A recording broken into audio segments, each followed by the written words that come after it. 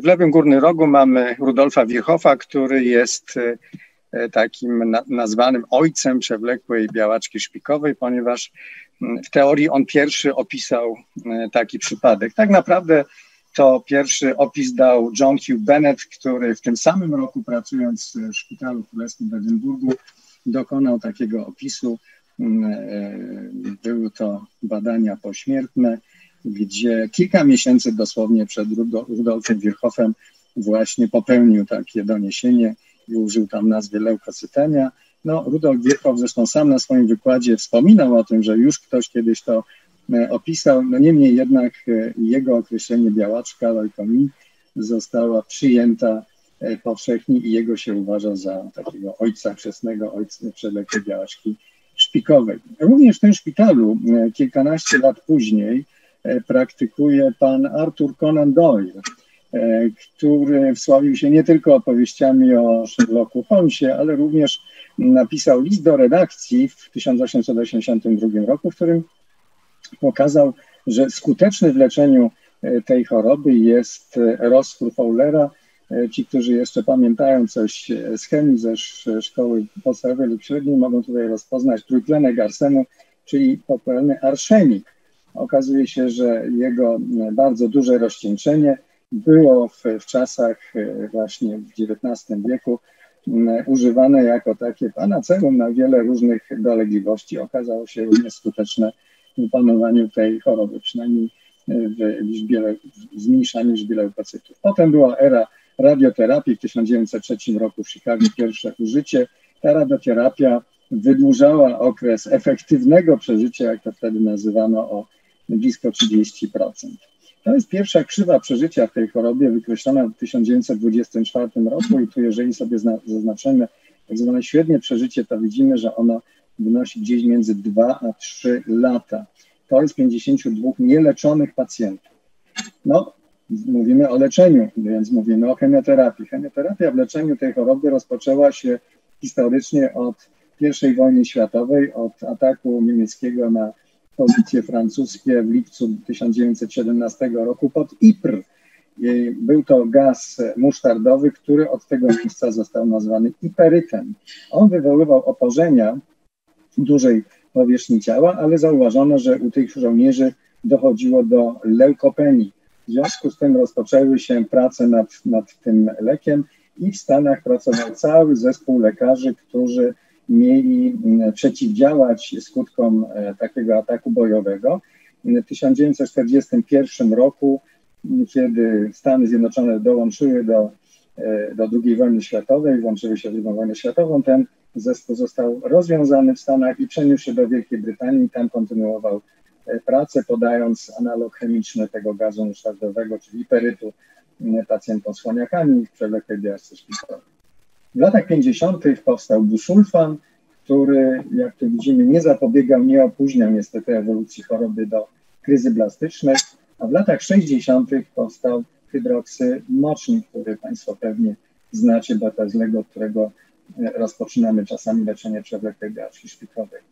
E, tylko jak on działał? No widzimy tutaj, że jest napisane, że nie przedłużał przeżycia i to jest taka krzywa przeżycia wykreślona przez kolegów z Włoch w latach 70. Proszę zobaczyć, że to średnie przeżycie tutaj, owszem, ono jest lepsze niż u nieleczonych pacjentów, ale zaledwie o rok. E, także tak naprawdę wtedy, do jeszcze do połowy lat 80.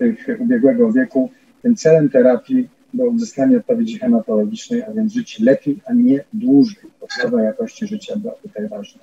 Pierwszy przełom to jest zastosowanie interferonu, który u pacjentów uzyskujących całkowitą remisję cytogenetyczną, czyli zniknięcie chromosomu Filadelfia, przedłużał przeżycie rzeczywiście. Tylko problem polegał na tym, że takich pacjentów było 5%, tych, którzy pod wpływem interferonu uzyskiwali całkowitą odpowiedź e, cytogenetyczną. Pierwsze autologiczne przeszczepienie to rok 1978, no i potem nastąpiła era przeszczepień allogenicznych Pierwsze próby to znowu 19 rok. Pierwsze podanie mm, szpiku w Polsce to profesor Julian Aleksandrowicz w naszej klinice. W 1958 roku podał e, przeszczep od bliźniaczki, jednej drugiej bliźniacy. No to się niestety nie powiodło po 30 lat później dopiero odkryto pewne mechanizmy immunologiczne rządzące tym zjawiskiem, ale to była taka idea, która była wtedy już rozwijana. W 1982 roku było pierwsze rutynowe podanie e, alogenicznego przeszczepienia. To metoda, która się rozwijała do momentu, kiedy w nauce zaistniał ten człowiek, czyli dr Brian Drucker, odkrywca imatynipu, który został e, w badaniach klinicznych e, odkryty w 1998 roku, a szerzej był stosowany w 2000, 2000 roku. To jest artykuł z 2001 roku, który mówi o wynalezieniu nowej amunicji w walce z rakiem. No tutaj konkretnie mamy na myśli oczywiście przewlekłą białaczkę szpikową. Ta mm, e, ciemno-niebieska krzywa obrazuje liczbę transplantacji allogenicznych w Europie właśnie do roku 2000 i proszę zobaczyć, że mm, ona spinała się dosyć mocno w górę po roku 2000, kiedy imatinib stał się dostępny, liczba tych transplantacji zaczęła gwałtownie spadać. Dlaczego? Dlatego, że to jest świetny lek który doprowadza do wieloletniego przeżycia. Tutaj mamy wyniki dwóch dużych badań klinicznych, dziesięcioletnie okresy obserwacji. Po 10 latach widzimy, że spośród tych osób, które odpowiadają, 91-92% e, przeżywa w dobrej kondycji ogólnej. Także można powiedzieć, że przeżycie pacjentów, którzy odpowiadają na to leczenie, zrównało się w tej chwili z przeżyciem osób zupełnie nieobciążonych. Dotyczy to oczywiście obu płci. Z tym związany jest fakt, że oczywiście nakłady na, na to leczenie bardzo znacznie wzrastały w ostatnich latach, w związku z czym mamy teraz do czynienia z pewnymi generykami. Generyki matinibu mamy w Polsce od 2014 roku. Myśmy stworzyli naszą własną bazę danych polską, która zresztą obejmowała największą i do tej pory obejmuje największą liczbę osób przebadanych pod kątem skuteczności, efektywności i tolerancji generyków i stwierdziliśmy, że one absolutnie nie odbiegają jakością od y, leku oryginalnego i można go bezpiecznie stosować. Jakie są cele leczenia przewlekłej białaczki szpikowej. Jak Państwo widzicie, one się zmieniają. W 2010 roku było jeszcze osiągnięcie odpowiedzi molekularnej.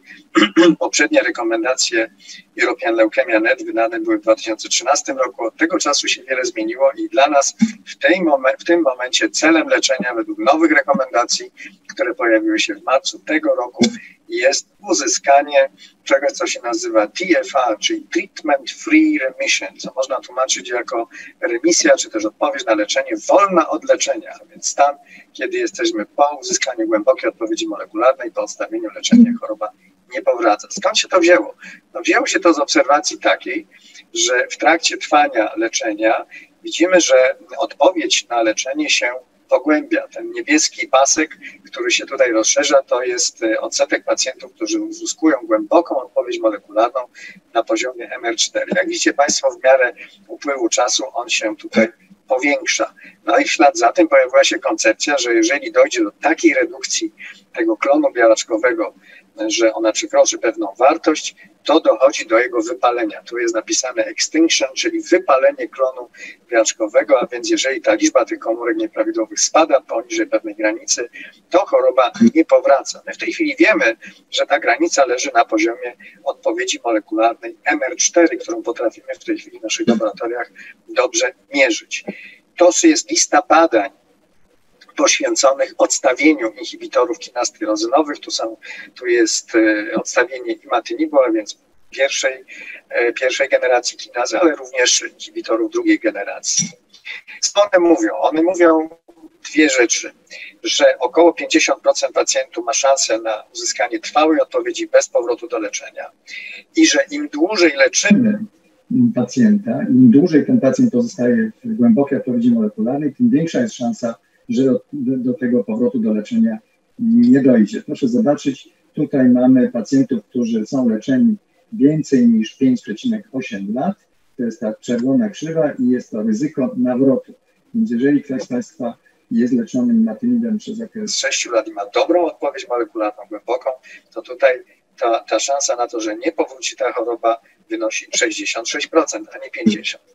I druga rzecz, która jest ważniejsza, to jest długość trwania głębokiej odpowiedzi molekularnej. Tutaj Państwo widzicie, jeżeli ona się utrzymuje powyżej 3 lat, to to ryzyko nawrotu spada i jest, e, wynosi 62%, czyli 38% to jest szansa na, no to jest ryzyko nawrotu, natomiast 62% to jest szansa na pozostanie w dobrej, głębokiej remisji molekularnej. I zostało to przeliczone i jest powiedziane, że każdy rok pozostawania w głębokiej odpowiedzi molekularnej, przynajmniej MR4, dodaje nam 3% szans na utrzymanie tego stanu bez leczenia. Dlatego jeżeli ktoś z nas w tej chwili waha się, czy odstawić lek ze względu na bezpieczeństwo, ponieważ odstawienie leku wiąże się z częstszymi wizytami w naszych ambulatoriach, mm, z badaniami molekularnymi, które są wykonywane w ciągu pierwszych sześciu miesięcy raz w miesiącu, to proszę się tym za bardzo nie martwić, dlatego że im dłużej Państwo ten lek mm, swój otrzymujecie, im dłużej ta odpowiedź głęboka się utrzymuje, tym Państwo jakby zarabiacie i ten, powiększacie ten kapitał do odstawienia, żeby to się już odbyło z pełnym sukcesem. Także to są wymogi sformułowane przez European Leukemia Net, gdzie widzicie Państwo, że optymalne, tutaj na dole ekranu, optymalne i zalecane jest rozważenie odstawienia, jeżeli leczenie inhibitorem trwa więcej niż 5 lat, jeżeli odpowiedź na poziomie MR4 utrzymuje się więcej niż 3 lata, a czas trwania jeszcze głębszej odpowiedzi molekularnej na poziomie M4,5 wynosi więcej niż 2 lata. Więc ten czas ma tutaj olbrzymie znaczenie. E, drugą istotną bardzo rzeczą, która ma e, olbrzymie znaczenie, jest to, jak pacjenci stosują się do zaleceń lekarskich. Dlatego, że dla osiągnięcia głębokiej odpowiedzi molekularnej bardzo ważne jest to, zwłaszcza w pierwszych latach leczenia, ale później także, bardzo systematyczne stosowanie leków. Proszę zobaczyć, to slajd pokazuje szansę na uzyskanie większej odpowiedzi molekularnej, czyli tej, która daje bezpieczeństwo, w zależności od stosowania się do zaleceń. Jeżeli ktoś ma mm, tak zwaną adherencję powyżej 90%, to znaczy, że w ciągu 100 dni przyjmuje więcej niż 90 tabletek, a więc więcej niż 90 dni ten lek jest zażywany, wtedy szansa na osiągnięcie większej odpowiedzi molekularnej wynosi 93%.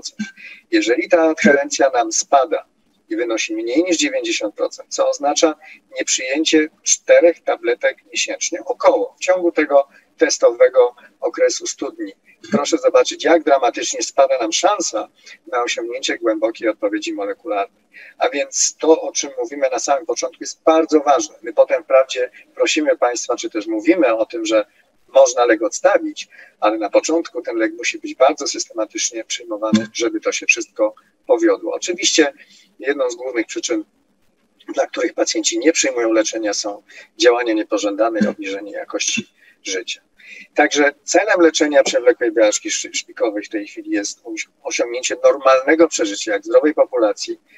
E, zawsze warto rozważyć ten moment odstawienia. To nie ma znaczenia, w jakim wieku nasz pacjent jest, bo ma równe szanse, wszystko jedno, czy jest młody, czy, czy troszkę starszy.